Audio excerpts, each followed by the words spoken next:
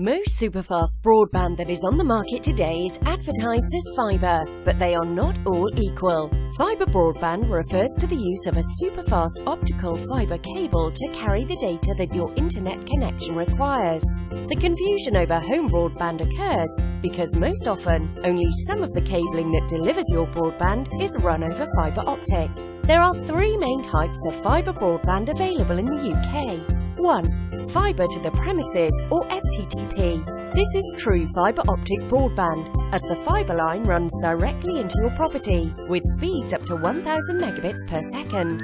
Most industry analysts agree that FTTP is the future of broadband. However, it is very expensive to lay a dedicated fibre optic cable to the property, so the rollout is quite limited. The remaining two technologies run a fibre optic cable to part of the telecom provider's infrastructure and then use copper wiring to get it to your house. There are two main types.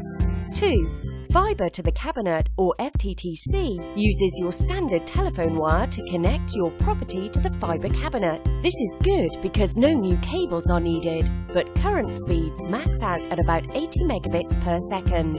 The final option is 3.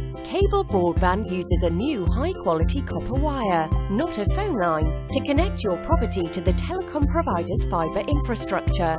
Cable is the fastest connection generally available, with speeds up to 300 megabits per second in the UK. It is generally restricted to urban areas, as it still needs a new copper wire laid to your property. For more information and any questions, head to broadbandlondon.com.